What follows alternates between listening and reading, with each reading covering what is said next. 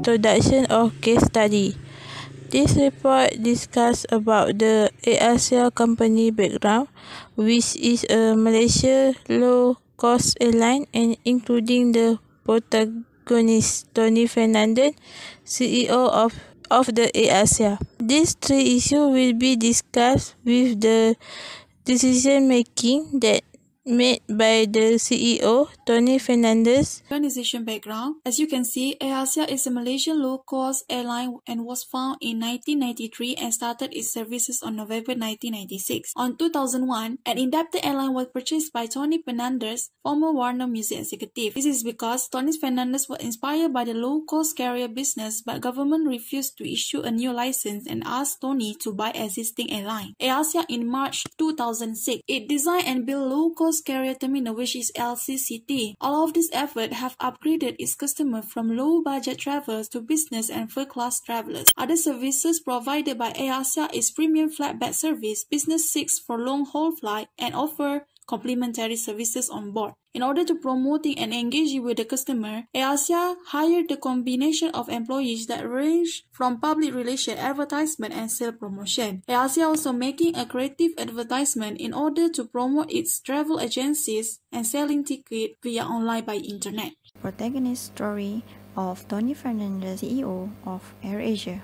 Tony Fernandez is a Malaysian entrepreneur. He is the founder of Tune Air Sdn Bhd, who introduced the first budget no-frills airline AirAsia to Malaysian with the tagline Now Everyone Can Fly. Tony Fernandez managed to turn AirAsia, a failing government-linked commercial airline, into a highly successful budget airline public listed company. Tony Fernandez's biggest achievement was as of March 2020 Forbes valued Fernandez' net worth at $335 million, ranking him at the 40th, 41st on the Forbes list of Malaysia richest. The first problem is AirAsia faced loss and failed to establish on niche market due to unable to be a part of the market share domestic airline in Malaysia. AirAsia difficult to compete with MAS, hence AirAsia had accumulated losses of 40 million and faced the company bankrupt crisis. The situation changes in 2001 when Tony Fernandez purchased this 40 million in debt company over with 1 ringgit. AirAsia has successfully rebranded from full service to low-cost carrier airline. The new low-cost strategy has led to an increase in frequency. First, Tony Fernandez is practicing the leadership decision-making approach where he does his research well before he makes any decision to set the strategy of the airline. Second, Tony Fernandez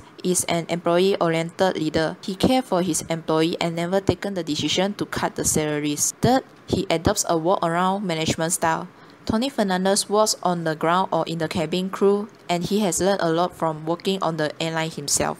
Problem 2 AirAsia Flight QZ8501 crash tragedy in year 2014. This tragedy is reported to happen due to the crew's negligence to ignore the malfunction of tiny electronic module in the aircraft's rudder control system and causes the plane's autopilot to disengage and crashed into Java Sea, sacrificing 162 lives. Tony uses his emotional intelligence in solving this problem which is related to three ability. The first is related to feelings, appraisal and expression of emotion of self and others. Tony is aware of the seriousness of this crisis and a proper explanation as well as the compensation plan is needed to calm the public down. The best way to properly understand the situation is to be in that place himself. Hence, this explains why he still flew to Indonesia despite being obstructed by his legal team. The second ability is related to regulation of emotion for adaptive and reinforcing mode state. Family members of the victims are transported to Indonesia with accommodation provided fully under AirAsia's expenses. Tony is also taking his responsibility by meeting every victim's family to show his sincerity and condolences. The third ability related to utilization of emotions for solving problems.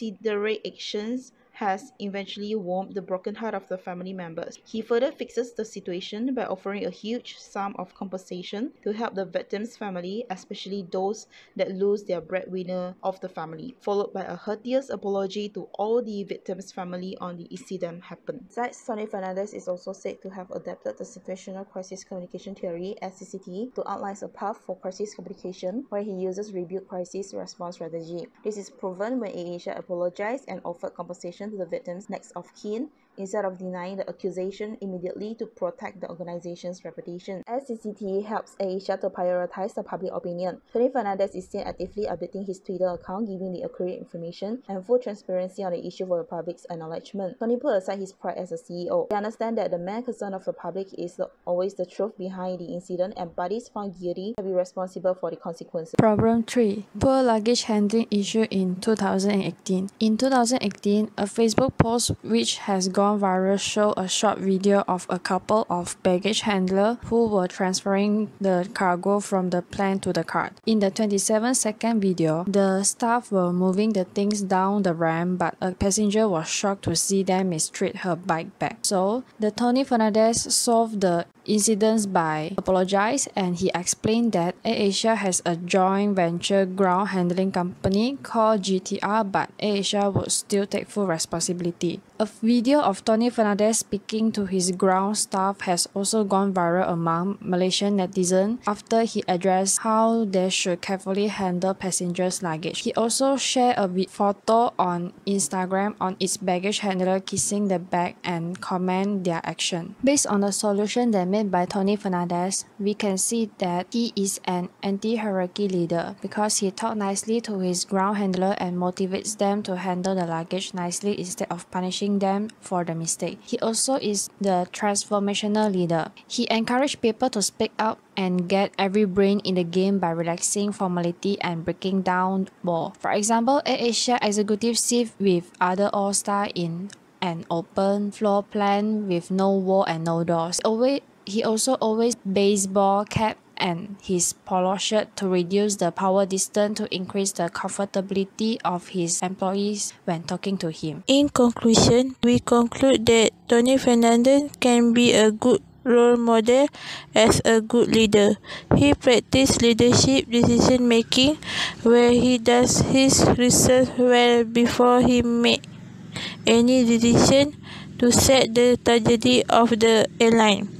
For example, in the issue of poor luggage handling, we can see that Tony Fernandez is an anti-hierarchy leader. Tony Fernandez, who also practicing transformational leadership, his leadership skills have formed a corporate culture that make AirAsia so different, so successful and so passionate about everything it does creating a culture that show in the face of every single person in the company